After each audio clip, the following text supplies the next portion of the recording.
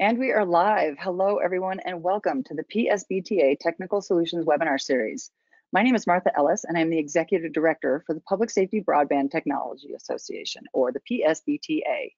As an association, our primary objective is to work as an end user advocate for all primary and extended primary FirstNet users. This includes all first responders and service providers who support response, mitigation, and recovery efforts during emergencies. We've created this webinar series in an effort to bring you the most current and accurate information on all aspects of broadband use for public safety personnel, including the latest developments in technology specific to the ecosystem. Today's webinar is the eighth in our AT&T Lean-In series, specifically designed to not only showcase the network, but many of the FirstNet approved applications that can be found in the FirstNet app catalog. The FirstNet built with AT&T Lean-In webinars are all about helping you optimize the FirstNet network, assuring the highest level of preparedness and reliable communications. If you've missed any of the previous presentations, please feel free to visit thepsbta.org to watch the archived webinars. A few housekeeping items before we get started. All attendees have automatically been muted to reduce background noise. Any questions should be submitted directly to us through the questions function, which is located at the bottom of the menu on the right side of your screen. Questions will be answered at the end of our presentations, and we will attempt to answer as many questions as possible, yet stay within our allotted hour. We will follow up with any questions that do not get answered during the live portion of the webinar after we finish today. If you have further questions when the webinar is over, we will also provide the emails of the preventer, uh, presenters at the end, so you can follow up at your convenience. Also in the panel to the right of your screen, I'd like to point out that there are handouts available that should be downloaded prior to the conclusion of the webinar. Today's first responders deal with complex situations every day. They train regularly to assure the highest level of preparedness for any number of possible response needs. Yet, for as prepared as the first responder is to help others, all too often they are less inclined to ask for help themselves. Today, we'll be discussing ways that FirstNet is working with wellness specialists to assure first responders can take care of the most important tool on the rig, themselves.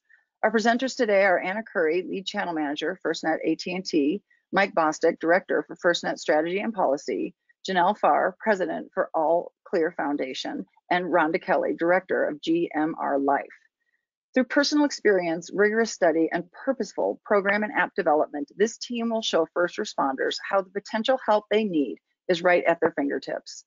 With that, I will turn the time over to Anna to get us started with our, our webinar, Incorporating Responder Wellness into the FirstNet app ecosystem. Thanks so much, Martha. I really appreciate being here today. Uh, good afternoon, good morning, everyone. My name is Dr. Anna Courie, and I am the new manager for Responder Wellness with AT&T. AT&T is committed to standing up a program to address responder wellness, and today I'd like to touch on some of those efforts that we're going to be sharing with you.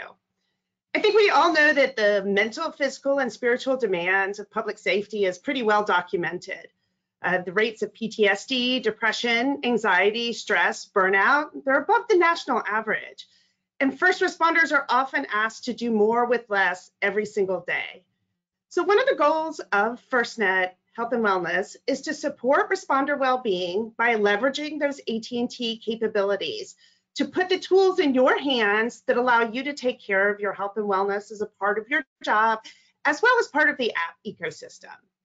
So what we're doing with our commitment to health and wellness is developing an organizational strategy that's going to see how AT&T can enhance your health and wellness as a part of the FirstNet. And one arm of that strategy incorporates identifying digital applications that support first responder health and wellness and vet them through the FirstNet app ecosystem so that you can have those applications available on your FirstNet device. Now, in addition to first, the FirstNet applications, we're also looking at browser-based resources that can support holistic wellness. And so that's what we're going to be talking about today. One of the apps that we've identified is the Responder Relate application, and one of the browser-based tools is Responder Strong. You're going to hear more about them in depth today from their developers. But before we get started, we wanted to set the stage with real life stories of responders' health, wellness, and how it's impacted them. And so I'm pleased to introduce to you Mr. Mike Bostic. He's a former law enforcement officer with the LAPD and now works with FirstNet in the public sector um, division, and he has volunteered to come talk to us today about his experience as a public safety official and the importance of health and wellness to his habits, his team, and how you may apply that to taking care of yourself today. Mike, the floor is yours. Thank you, Anna. So I'm a retired assistant chief in the LAPD. I was there for 34 years, and uh, during my career there, we had many incidences, the riots, and lots of other things that led to all kinds of officer stress in our organization. We also had a professional organization called the Behavioral Science Services Organization within the LAPD. And those of you in public safety know how much we trust internal help. Not much. It's just the nature of who we are. But I want to talk about one incident in particular. When I was the chief of the San Fernando Valley on February 28, 1997, I was in downtown LA at a staff meeting with all my fellow chiefs and commanders. And they were actually singing happy birthday to me because it was February 28, 97, and that's my birthday.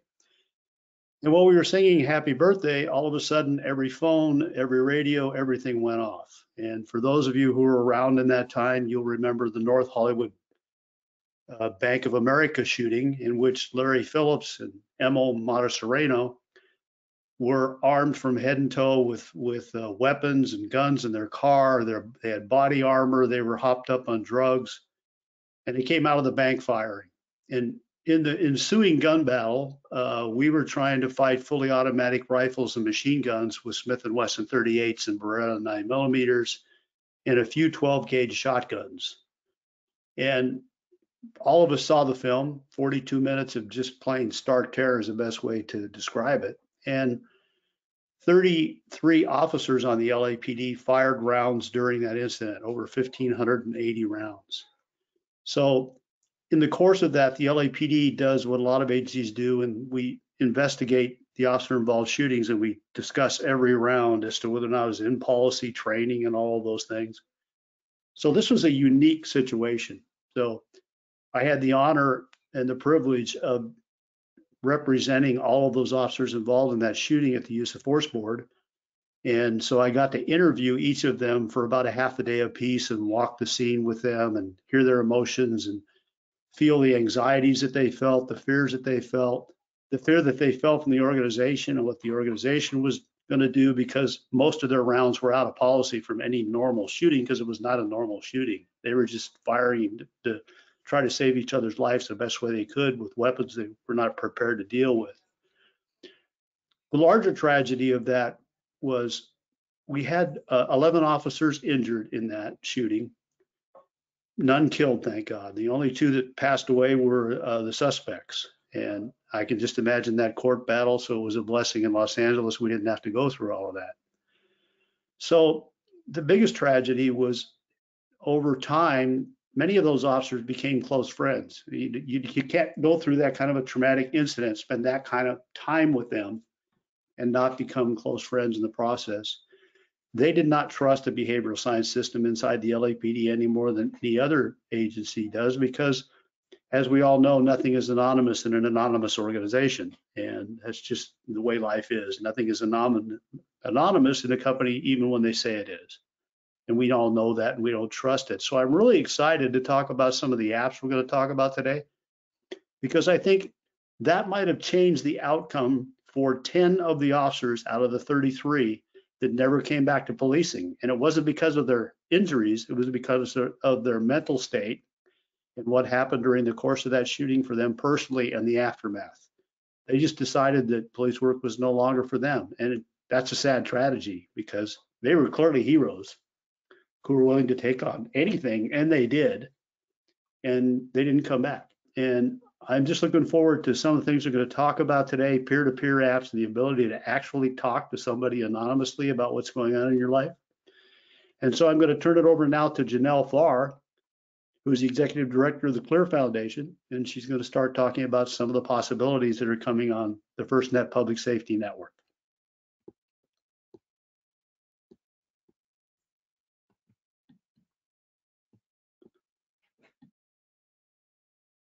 Thanks, Mike. Sorry about that, guys. Struggling with uh, some mute buttons.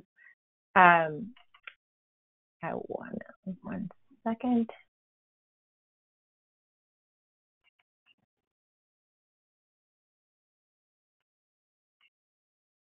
I want to make sure I can everyone see hopefully by my screen here. Um, I um, like like Mike said first I'm uh, Janell Farr with All Clear Foundation. I want to thank Anna and Mike and the entire AT&T and FirstNet team for having Rhonda and I um, here to present to you Responders Relate and the You Responder Strong programs. One is more of a uh, kind of peer empowerment app, and the other is an individual empowerment uh, tool for responders. And like Mike said, you know, it gives everyone an enables them to to explore personal experiences or get information for others in the case of the app um, by being anonymous if you choose. Um, but I thought I'd go over a little bit about All Clear Foundation and how we got here today first. Sure. All right. So the question when we started All Clear Foundation in 2018 was, how do we positively impact the lives of the 3 million plus active and um, retired, injured out, former first responders in this country, um, and as well as their families who support them and who, um, you know, every day sacrifice uh, in the background on their behalf and how, how could we possibly do that? And we didn't see any real national efforts that were happening. Tons of organizations locally were doing really, really incredible things. Um, all of them, you know, doing it, uh, you know, kind of a little bit in isolation. And how could we do something and build something bigger to where we could support not only those organizations, but democratize the resources for all responders? And so our answer to that was to build a really collaborative national foundation where we can, you know, create, fund, and amplify programs that are really focused on the improving the life expectancy and well-being of first responders. And so we kind of started talking to responders throughout the country and uh, really looked at a lot of studies and you know tried to find out you know what should we tackle first. And the the statistics were just daunting.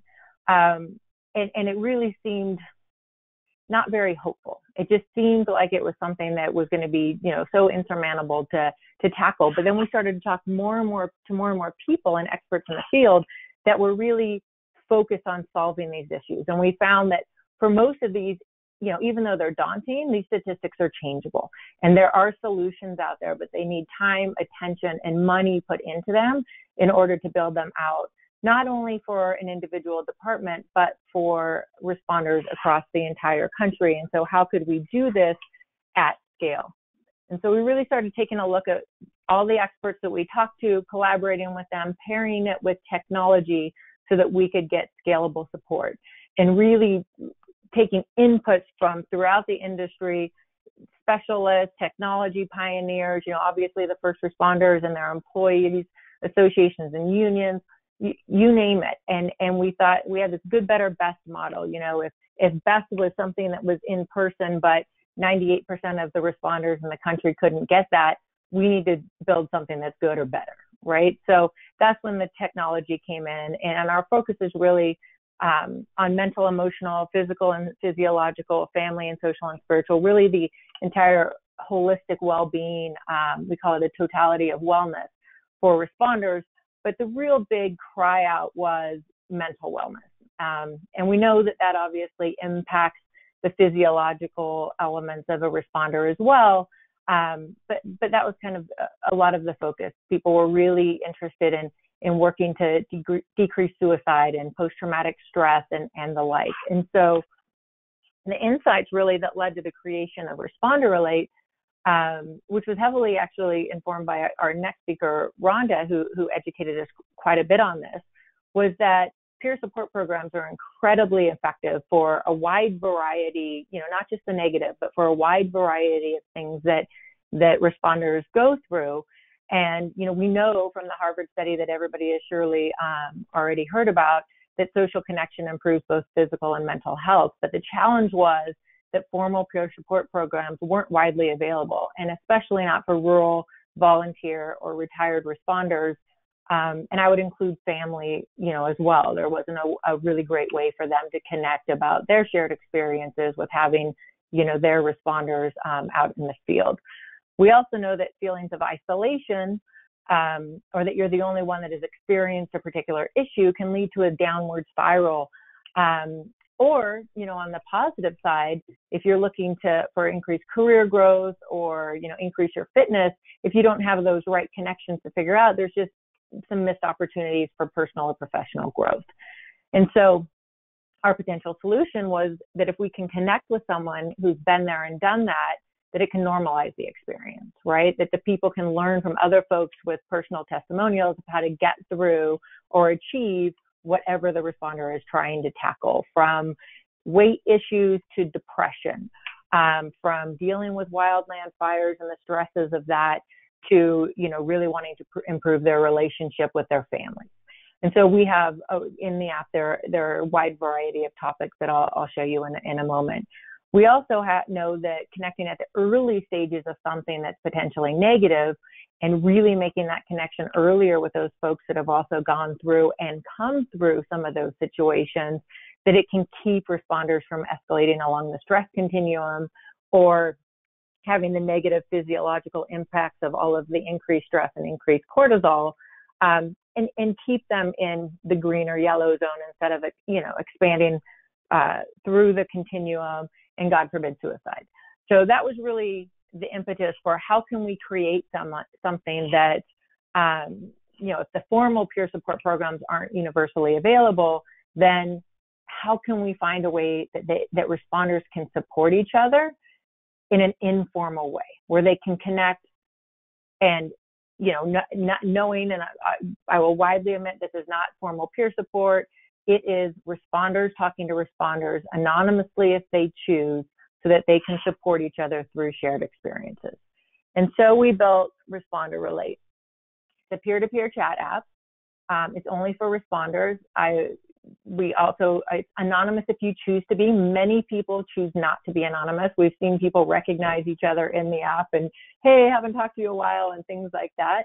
But for some folks, they they might want to be anonymous, and so you just make sure that you have a you know a screen name that doesn't identify you. Um, and then it's available 24 7. It's an app. It's available on your phone whenever you need it. You could be on the job and, you know, taking a break and be in it. You could be sitting, you know, in a rig next to your partner on a break and them not know what you're actually texting about. So this is Responder Relate. Again, I said it's only for responders. There are, you can see in the middle screen, there are quite a lot of different chat rooms. We have over 70. Uh, probably too many, but we're in the early stages. We've launched widely at the end of April. Um, and so we're looking for the activity that's in those rooms and find out if some can be either collapsed or moved over. And so we're still in the middle of, of all that analysis and you'll look on the right side, it's just a, an opportunity for folks to jump in and support one another. We've had really, really great um, success already from, and, and I've had contacts from responders with depression who uh, didn't know really what to do, felt it in isolation. Their their wife knew about it. They were on medication, had been diagnosed for three years, had a conversation in this app with other folks um, who had depression. They had a discussion about medication. Some folks made a, you know, a recommendation for things that worked for them. The gentleman talked to his uh, doctor about it. They changed the medication because the doctor thought that that was a, a good recommendation. And we're, you know, several months later, because he was one of our early testers, um, and he said his entire life has changed. He's actually sat down and talked to his family, his kids, about the fact that he was diagnosed with depression three years ago, and this wasn't their fault. Everything that was going on in the house was about his depression and his challenges with the job as a detective, um, and it made their family tighter knit. So those are the kind of stories that someone who felt isolated, felt alone, was a detective in a very small rural department, thought nobody else was going through what he was going through, and why could he not handle the stressors of the job. It was what he was there to do. Um, but we all know that the trauma that one sees in responder work is not normal, right? It's, and we need to normalize it. And we need to not only focus on some of the intervention tools that we do in crisis, but giving folks a way to talk to people to keep them out of crisis. If we can connect folks early on when they are struggling or when they, you know, they might be wanting to go up, like I said earlier, for a promotion, but they may not talk to somebody or their partner in the in a department because they might be up against that particular person for the promotion the next year. So there, you know, and then there's the stigma and there's everything else that goes along it, with it. So, you know, our goal is really to give folks a place to connect um, where they don't feel judged. We see that a lot in there where people say, Hey, I just needed a place to feel judged. Many of them come and talk when an anniversary is coming up of a, a critical incident or a mass incident that they're struggling with and they have different vernacular for how they the different words that they've chosen to use instead of anniversary which seems like a celebration um, and it's it's really positive we're you know a young app and we're working to to grow and are incredibly um, thankful that FirstNet has kind of done so much to help us promote and get the word out um, to responders. And this is really something that is built for responders. It's, you know, really first of its kind other than some of the Reddit rooms. So we really welcome any feedback. Please do email me. Um, we're working daily to pr- provide enhancements. The, there's no data sold in the app. Um, there's no ads in the app. We will now and again promote different resources that we might find are available or would be useful. Um, but we really are informed by the responder community um, and supported through funding of our donors for All Clear Foundation for this program. So please, um, please do reach out if you choose to use the app. Um, we make enhancements about once a month based on user feedback. Um, and the app will get better and better as we get more and more users in there. So here's some, you know, the, the end, the highlight reel here, just knowing that folks can chat openly and anonymously 24 7 with their responder peers. You can go obviously to the FirstNet app catalog to download it. You can go to responderrelate.com to learn more about the app. And I also welcome you to go to allclearfoundation.org uh, to to take a look at some of the other resources we have available for responders as well. Which, as now I pass it off to Rhonda Kelly, and she'll share the You Responder Strong um, wellness tool that's really a personal empowerment resource that is so powerful for emergency responders. So, Rhonda, handing it off to you. Thank you so much, Janell. I really appreciate it. Ah, and I, oh, I very much appreciate the opportunity to present today. So thanks to Anna and everybody at FirstNet. I'm Rhonda Kelly. Just to give you a brief synopsis of my background and how I came to be where I am now. I started an emergency response back in 1996, so last century, but still a baby when compared to, to those who have had 34 year careers with uh, LAPD. Started in the Antarctic as a remote uh, practice EMT, transitioned to Colorado where I served as a volunteer EMT while also working for a paid company. Transitioned into the fire service, serving 17 years as a firefighter paramedic while working on the side as an emergency room nurse and a psych emergency room nurse.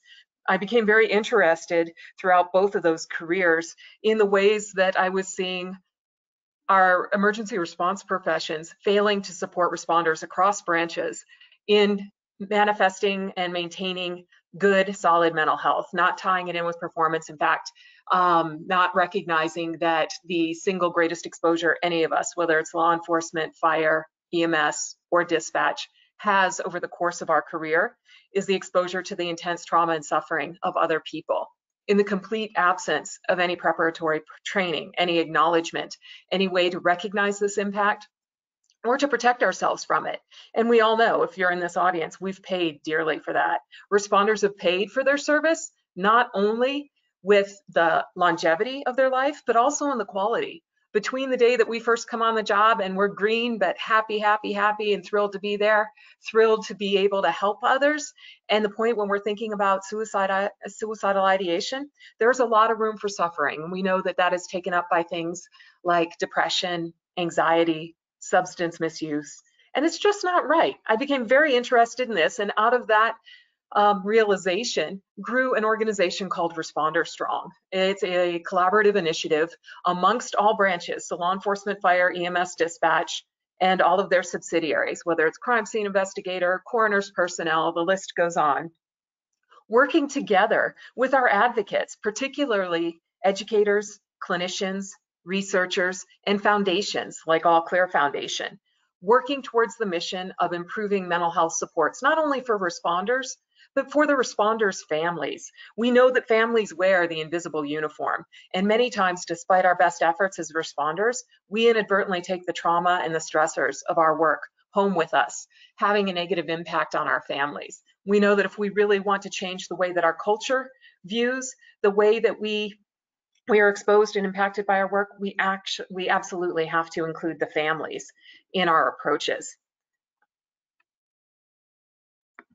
Ah, there we go. Sorry, pause there. My slides weren't advancing. So anyway, Responder Strong was created in 2016 with a focus on mental health. We took a targeted approach then, knowing that the stigma against reaching out for help when suffering internally, emotionally, or mentally was so great that if we didn't take tackle it head on, we risked missing the mark and not changing our culture, not providing culturally acceptable supports.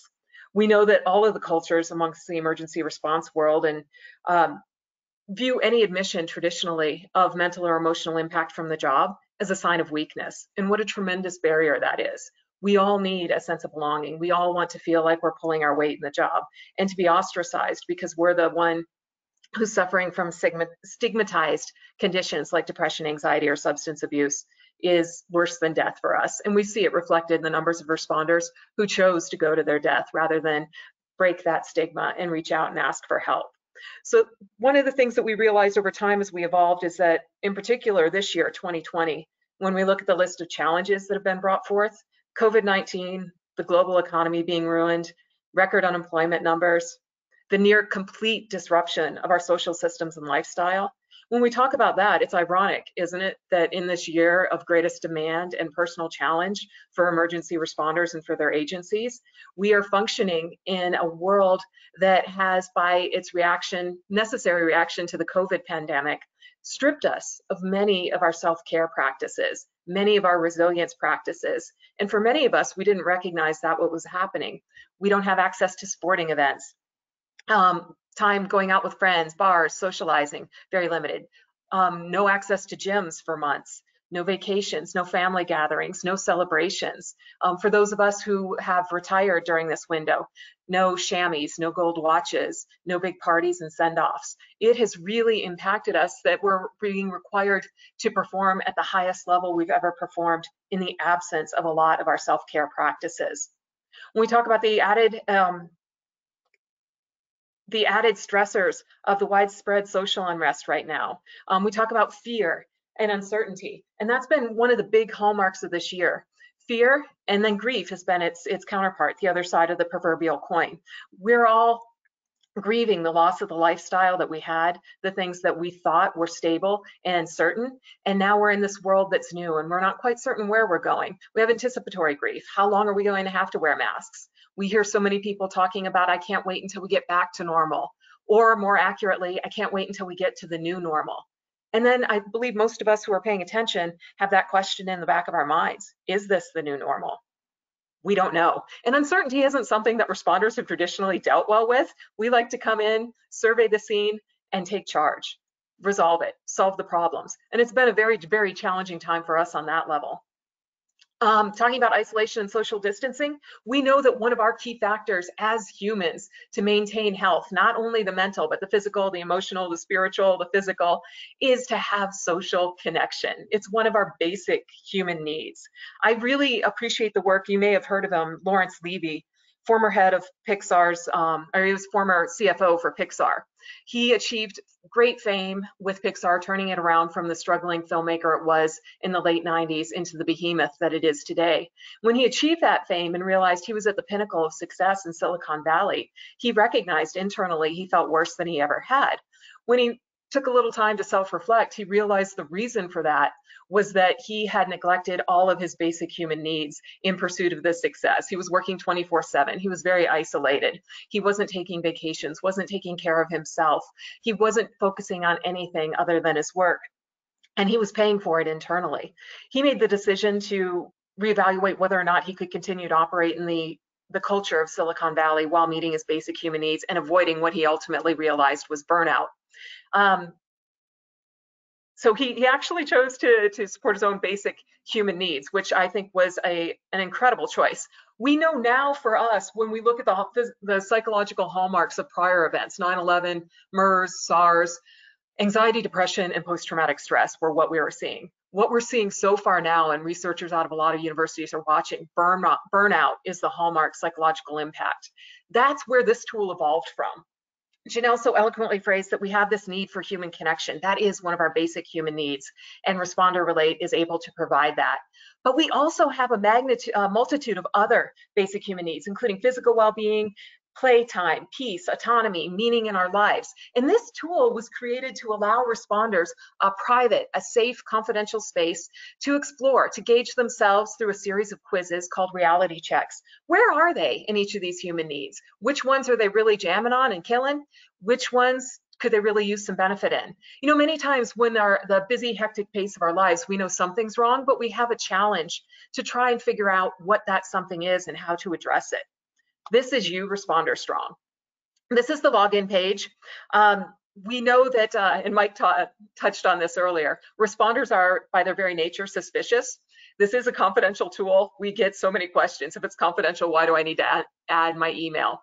It's to allow individuals to create an account that allows them to save their content, including their self quizzes that are pr private to them, to save content that they want to refer to later.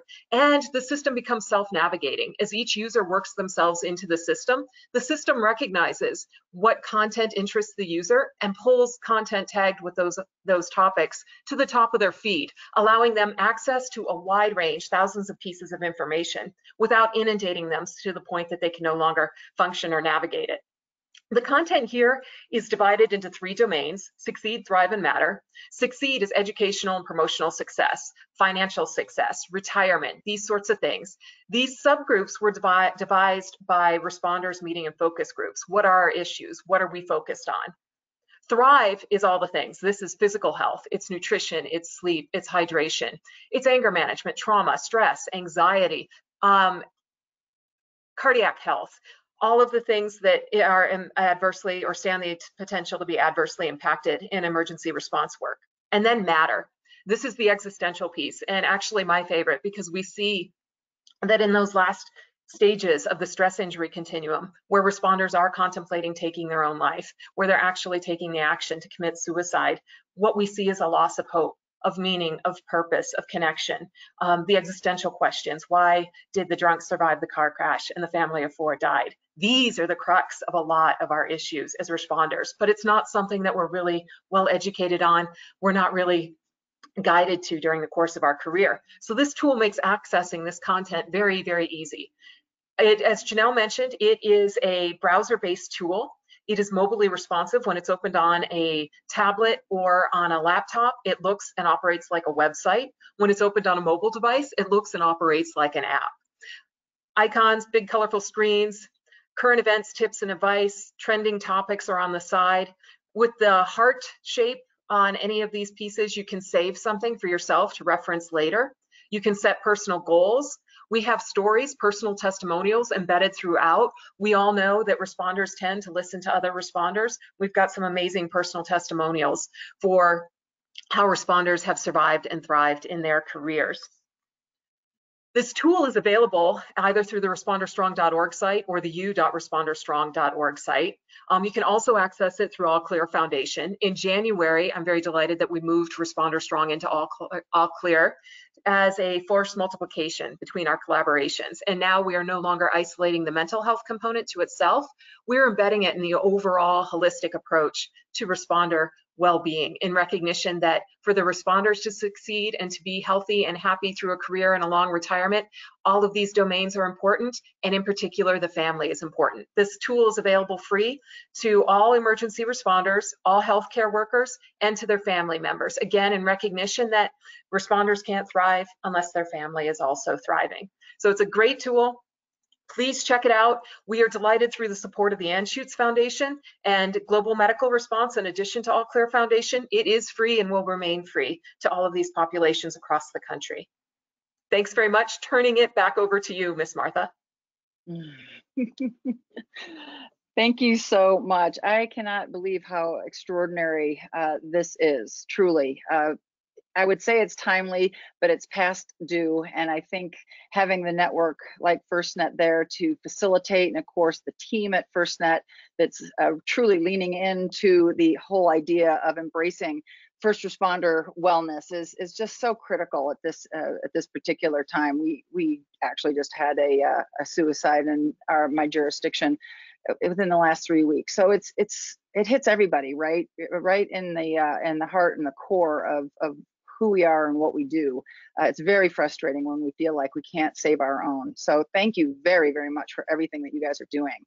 So, Mike, I'm gonna I'm gonna start with you today with the Q and A, and if you wouldn't mind, could you just give us a super high level uh, overview of the FirstNet network in general? Uh, how did we get here? Uh, what is the mission and vision and goals for FirstNet? Uh, go ahead and lay out just a quick roadmap on that one for us. Well, first of all, we in public safety fought for this for since 2012, and um, we fought for our own network, uh, our own spectrum through the federal government, and we got it through the FirstNet Authority that's run by the U.S. federal government. AT&T is actually the contractor with a 25-year contract with the FirstNet Authority to build our network and to build it out for the next 25 years, whatever that takes to keep it running, you know, moving through 5G, 6G, 7G, you know, wherever we go with technology. What I love about this MOTH, it's the fifth national cellular network. We are not AT&T. We're FirstNet. We just happen to be contractors working for uh, or under contract inside AT&T to build the FirstNet network.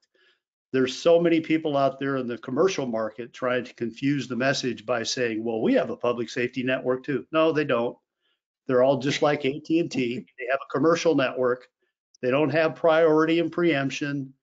They can't do any of the things they say they're going to do. And I know this because I spent 15 years in technology and LAPD being lied to by technology companies. So I know the difference. and it's unfortunate, but it's just the reality of what's happening. You know, it happened in the land mobile radio space, and now it's happening in the commercial uh, spectrum space. There's only one FirstNet. There's only one public safety network. It's FirstNet, and it's our own network and the key part of this that's now coming to light for a lot of people is we have an ecosystem. It's not Apple's ecosystem and it's not Android's ecosystem. It's ours. It belongs to the FirstNet Authority. So you're beginning to see things like this capability that's going to come onto our network available to public safety that we're going to control. So in the very near future, you're going to start seeing more and more applications where companies will no longer be able to try to sell us commercial networks or commercial technology It'll be public safety technology built specific for public safety with the kind of security we need on our network that doesn't exist on a commercial network and all of those things. And so we're coming a really long way. We're up to about 1.5 million users on the FirstNet network. We have the fastest network with the most throughput anywhere in the United States by far. It's much faster and much more capable even than AT&T's network, which our CEO was actually bragging about last week with all the reports to the stock market. It's interesting that he's bragging that our network's better, but I'm glad he did it. And um, so we've come a long way. We fought for this for a really long time, and I just ask all of you in the public safety space out there, if you have questions, my information is going to be available. Please call and ask. Don't fall for the lies. It costs you so much money to be lied to. I, I spent hundreds of millions of dollars in LA on junk. So buy the real thing. It's Spoken like a, a true first responder. I love it. All right, let's go back a little bit to the topic at hand. And uh, Mike, again, I'm going to stick with you for a couple of questions. Uh, in speaking about the North Hollywood shootout, can you give us a little glimpse into how things may have been different if these uh, particular tools were available for the first responders at the time of this shooting? Well, the first thing is in large organizations in particular, when there's a shooting review process, believe me, the officers are terrified, wondering what our organizations are going to do to them But all they were doing was defending their life or someone else's life. It's just part of the reality of public safety, especially today. Can you imagine? You could be out on the riot in the streets of one of our major cities and you can get prosecuted for doing the job they sent you out there and told you to do that's unfortunately where we are in public safety today. And inside a normal organization, they have behavioral science services and those kinds of things. No one trusts that, you know, because we don't believe it's anonymous and we've proven it's not because sometimes information gets out of what happens when someone meets with an internal psychologist. And when that happens, it just destroys the whole system. So in the North Hollywood shooting, this was classic. We had officers firing thousands of rounds they knew were out of policy, but they didn't care. They were trying to save their brother officers from being killed by crazy people, you know, they were, they were unarmed. And they were just firing everything they had as fast as they could at those people in every direction from wherever they were at. Some officers were as far as 1,500 feet away, and you know they're not going to hit anything with a 38 or a 9 millimeter Beretta, but they had to try. They had to do something to defend it. So, wouldn't it have what what would have been different was had this capability been available to them, they could have gotten a hold of a peer-to-peer person who'd been involved in a shooting somewhere, either in the LAPD, the LA Sheriff's Department, San Francisco. It doesn't matter where, and say, how do I prepare myself for all this stress? I know they're coming after me, and they're not talking about the bad guys. They're talking about internal within the organization or the politics of the news media. They're talking about everybody else who's coming after them for doing the job that they were hired to do. So I honestly believe a lot. We would not have lost a lot of those officers had they had somewhere to go that they really felt would be anonymous and they could have talked it through with other officers who'd been involved in shootings and realize you can come out on the other side. You still can be a police officer to be really, really good at it. And so for me, that's that, that would have been the most exciting difference was to not we didn't lose them to physical injury, we lost them to psychological injury, and that's more tragic to me because um, that's well, a lifelong problem. Right, and I think you bring up a very interesting point that that those of us who have worked in that first responder space, uh, we clearly recognize that not only is responding stressful in its own right, no matter how much training we have, uh, people really underestimate that compounding stress and and the the things that follow in the wake of these types of of incidences that are even above and beyond just trying to deal with the PTSD of the event itself. So uh, it's it's extremely important that people recognize that we we see those things. We see you and we see the the stresses that first responders are under above and beyond uh, just what happens in that immediate moment. So so thank you for that. So one last really quick question, Mike. Looking at uh, these types of services, is it practical in a day-to-day uh, situation as well, above and beyond just the immediate hair-raising responses that trip these types yeah. of things? just look at the list of things that Rhonda and Janell were talking about and the pressures. Forget just every single one of us right now today are isolated at home. We can't socialize. We can't go to church. We can't sing. We can't pray. We, you know, we got all these restrictions coming on us from every direction of life by people who are trying to control every little bit of our life. Compound that to what's happening to police officers, firefighters, nurses, this out in the middle of this chaos every single day. They're trying to burn down cities. They're trying to burn down government. Our government leaders are cheering them on for doing it. Just think of the amount of stress that I can't even imagine being in any of those positions today. I'm not sure I would handle it well. And I'm just, I don't know. I don't even know any better way to describe it than thank God for people like Rhonda and and Janell and everybody else who's working in this field because it, it's going to get way worse before it gets better. I, I think they said, I saw a, a, news program the other day where they said 25% of teenagers have considered suicide since the pandemic. Hmm. 25%. So we know that's not going to get better because people are talking about isolating us more, wearing masks, staying at home for five years. There's all kinds of nonsense going on, you know, and right. that creates no sense of stability or future for a lot of people and that creates a lot of stress. It does for me. And yeah I'm, absolutely. I'm tired working in another job and i actually you know for the most part have been through a lot so a lot of things don't surprise me anymore but this really surprises me and this is a pretty scary time yeah, so you're really talking about not only the acute situations, but these sustained types of conditions that can just wear on individuals day in and, and day out. So, Mike, thank you very much for your insights. I truly do appreciate it. I'm going to shift over to Janell for a couple of questions. We did have some questions come in during your presentation.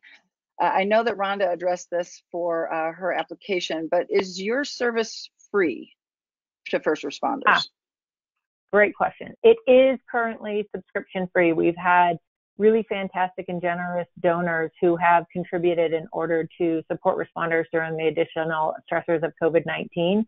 So when we launched widely in April, we were able to keep it subscription free. In the future, the plan is for it to be 99 cents per month, which will fund development, uh, customer service, paying Apple and Google. Thank you, FirstNet, for being free. They are not. and so they're um, in the absence of selling data or selling ad space, which we do will not do. Um, there will be uh, a nominal charge. It also helps to keep trolls out. Uh, we don't find that people pay to go and troll. Um, so we that's an amount that we felt and we focus group that tested that that um, would be reasonable. But if we can find additional donors that are willing to support it, we'll, we'll keep it free as long as we possibly can. Well, and I love how you framed that because sometimes to the casual onlooker, when things are, you know, have a fee associated with them, uh, they feel like someone's trying to make a profit off of them, but it really feels like you are sincerely reinvesting that money and you are also putting right. these things in place to protect their own security. And I think the data mining is like bar none one of the most critical as we are all so sick and tired of having all of our information uh, right. extracted from these apps and then shared with, uh, you know, God only knows who, right? So thank you for that. I yeah. really do appreciate yeah. it. Um, so and another uh, question Oh, go ahead. Just one follow up that, uh, you know, as a nonprofit, we are obviously not here. Well, we want to make money so that way we can reinvest and, and do additional, you know, programs. Um, but yeah, it's, you know, it's, it's a little different as a nonprofit. And I think everybody, you're right, is used to the Facebooks of the world where it's free, but man, it is not free. Um, but some of the it's data we will look at, but we, we will look at some of the aggregated data, um, which I, I've uh, failed to mention earlier, um, and looking at some of those conversations about what people talk about when they're anonymous at a very high aggregated level to help inform other responder groups, other folks working to, to help responders um, and give them some of that additional data, including AT&T FirstNet, who's very interested in having that influence their programs as well. So there's additional value to the community there. But that's a metadata evaluation. Absolutely. Clearly. Okay, yeah, clearly. Absolutely. Okay, great, super. So this is a really fantastic question that came in. Uh, a lot of these FirstNet phones are being issued by agencies. Uh, how do you uh, assure that anonymity when they are, you know, sending notes and so forth in across your application on potentially a agency issued device? Wow, that's can can I have an easier question? Um, okay, well, so you know what? We can actually, if you, if you give a more complex answer, we can certainly answer this one in writing. Um, but if, if there's a high level uh, answer, then no. From it, a high level, goes to your anonymous, yeah. So from a high level version, I know that folks have agency issued phones, but you don't have to log in from an agency issued phone. If you prefer to use your personal device, it's an app um, you can still log in, whether I, I, believe, and Anna might have to help me on this, um, you know, to your FirstNet account and be able to download it on on a personal device, or you can, um, you know, obviously, you know, do it on your own personal device through other app stores. But but the general idea is that as long as you go into the app and use an anonymous name and don't provide any information that you know a partner or somebody else to be like, oh, I know that's Mike, um, then you're anonymous.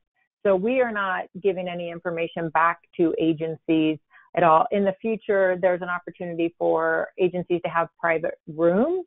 Um, but even in that case, we are not giving any information back to those agencies. You can set up a private, separate email if you want to log in and have your own username um, and would have a different access code. So I don't know if they're how it works on those phones from a technology standpoint with with other ways, but uh, nothing that we're doing in the app would allow anybody to find out who you are. Which well, is a challenge too, I will say. Oh. Yeah, and it's not. That's why it's not a crisis app because since we don't know who you are, we can't send 911 to your house. Right. If something was no, going and, on in a crisis. I, I appreciate that. I think you did answer it. So um, thank you. I do appreciate that. Sure. So really quick, can you um, talk a little bit about when the All Clear Foundation was established? Sure. So we started our work in mid 2018 and then started doing a lot of research and talking to responders, Rhonda being one of them before Responder Strong. Uh, became affiliated with All Clear Foundation. She was actually one of our advisors, and we listened a lot to what they were doing and started building the programs in 2019 um, we wanted to really make sure that we had something to offer responders before we went out publicly or started asking anybody from the general public for any funding to support responders because we know responders would be the first ones to call us out saying you're not doing anything for us yet. So we had to have something there. And so we actually launched uh, last October 28th. Okay, fantastic. Well, and clearly a much needed uh, service. So thank you again for that. Rhonda, we're on to you now. Uh, can you talk a little bit uh, about why self-care for first responders is deemed more essential now than ever before? There I am, absolutely. So, and I think Mike expressed it eloquently with uh, it's going to get way worse before it's anticipated to get better. And Martha, you yourself spoke about the prolonged nature of this event. As emergency responders, we are accustomed to hearing the tone go off, responding, mm-hmm. handling it in a few minutes to a few hours, and moving on to the next situation. That's definitely not the case with this year. This, I've heard it explained in so many different sporting analogies. It's not a sprint, it's a marathon. Well, it's a triathlon. Well, it's an ultra marathon. And I think so far we've run out of sports analogies, but we know that it makes self-care even more essential now we can't wait until the end of the event. We can't say, oh, it's just going to be a few days. Even in the case of hurricane deployments or wildland deployments, it's just going to be a few weeks. I can make it. This is the long game. Um, and we now have not only the occupational stressors, as Mike indicated, but we have the social, the economic stressors. We have um, the rules of engagement have changed for us as responders across the board, particularly for law enforcement. Social perception has changed. So we are in an incredibly destabilizing time. And it really goes back to that adage that, you know, the only thing we can control is how we respond. And we respond better when we're taking care of ourselves. So uh, you, to speak to what you just said, I think it's so salient, right? To be able to uh, reach out for this help in the middle of these events, right? I mean, because sometimes there are these sustained efforts, uh, clearly having one operational period after another after another. Uh, and you're right, some folks will be like, well, when this is over, I can do dot, dot, dot. And the truth of the matter is, uh, and Mike alluded to this as well, is being able to uh, reach out for that help in the throes not only will have a sustained benefit but will also have an acute benefit going back to the line right and doing what needs to be done at that immediate moment. So uh, truly remarkable that these things are in the palm of, of the first responders hand and, and able to uh, give them what they need in this anonymous uh, fashion. So I, am just truly uh, thrilled with what you guys are doing. So uh, and I know you touched on this in your presentation, but can you talk a little bit more about the benefits to responders and their families? Because clearly there's always a cascading impact of, of folks that are uh, having these sorts of problems and issues.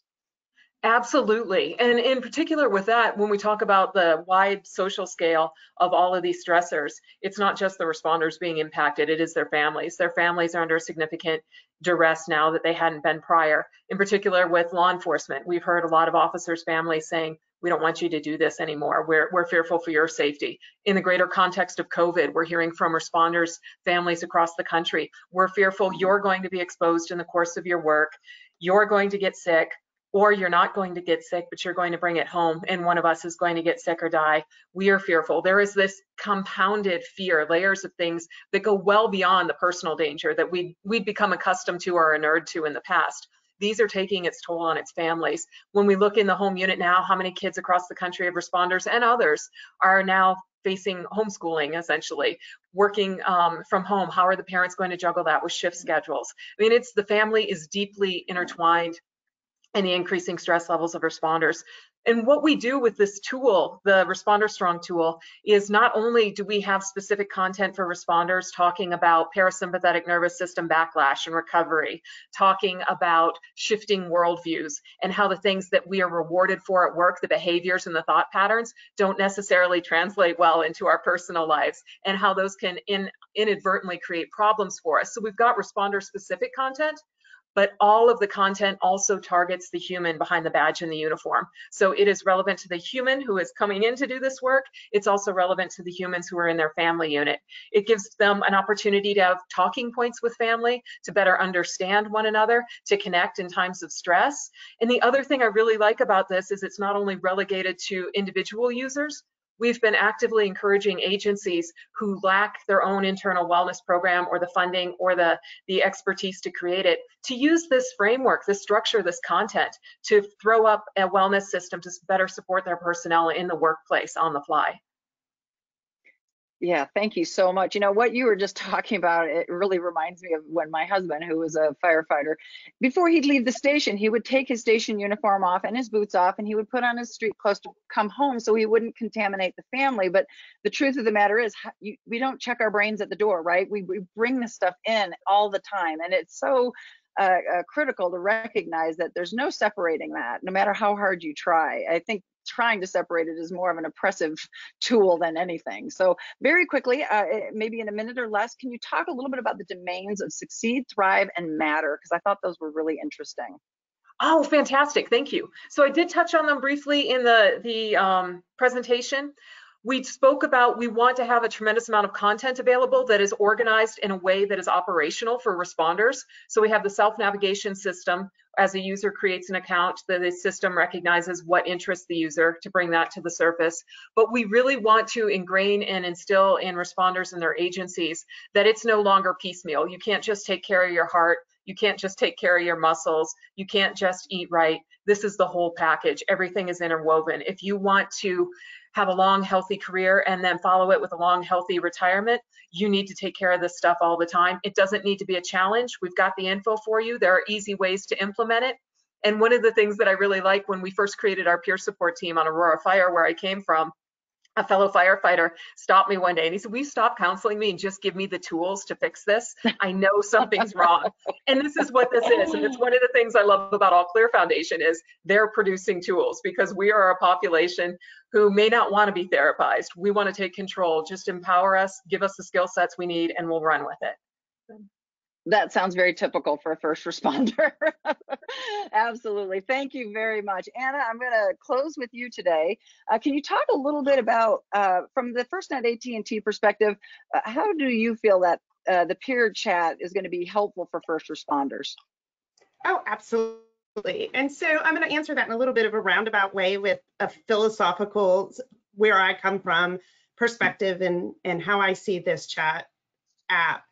So, in the beginning of my career with uh, the US Army, we were entering the global war on terrorism. And the general officer I was working for at that time said to me, Anna, I want us to come out of this stronger than what we went in. I can't stop that bad things are going to happen, tragedy is going to occur, people are going to die. But there's got to be a way to approach this from a health and wellness perspective that we can come out of this stronger. And I think whether you're looking at responder relate or if you're looking at responder strong, the, the backline philosophy is very similar. We know that bad things happen in public safety. We can't necessarily control that those bad things are going to happen, but there are things that we can do to make ourselves stronger to come out of the experience with more purpose, with more meaning, with a better understanding of what what we experienced as individuals.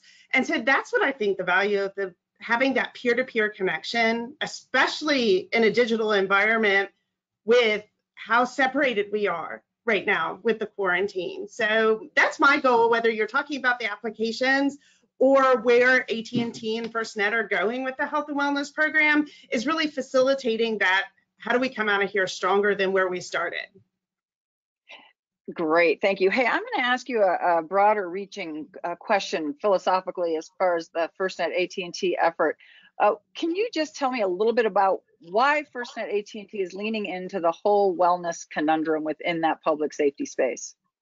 Absolutely, and I'm I'm honored that you asked me that question and thrilled to talk about it because it really speaks to the value system of AT&T. One of our value uh, statements is to be there and we've adopted that with first responder health and wellness that it is our intent to be there to be a partner. Because i think with what AT&T began to realize even as they built out this beautiful network you know this incredible standalone wireless broadband network that was just for first responders there was this coming realization that we can build all the fiber in the world but it's really the people that are the heart of it. And so part of that grew into this idea that, well, how do we become, how do we, how do we be there for first responders? Because if we take care of the people, they're going to better be able to do their jobs. They're going to better be able to utilize this beautiful network that they built. And so I see that their vision is to become partners in this.